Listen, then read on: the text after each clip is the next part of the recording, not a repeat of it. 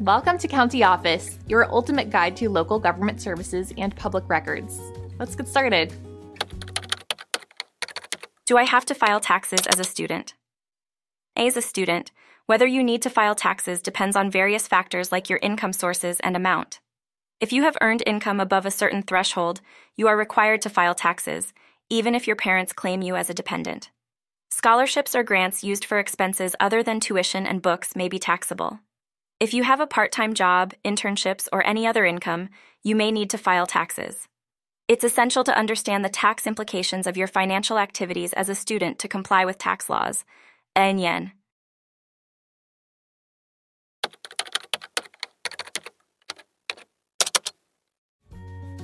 To learn more, check out these links, which you can click in the description below.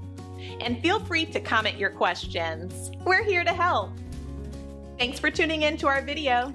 Please like and subscribe and leave a comment below. See you in the next video.